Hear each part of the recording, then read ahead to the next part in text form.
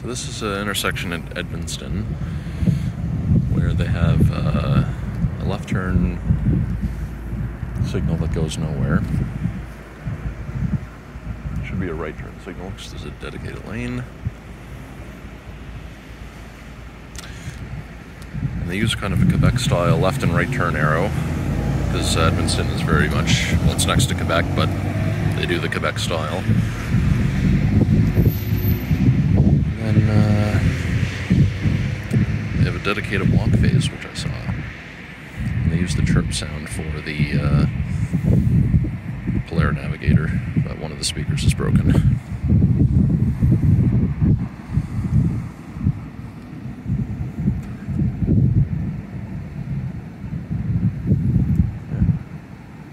Maybe that's why they use the arrows because it's dedicated. And then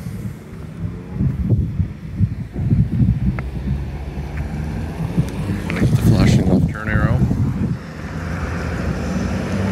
The Montreal style or mounting arms. And then back to green.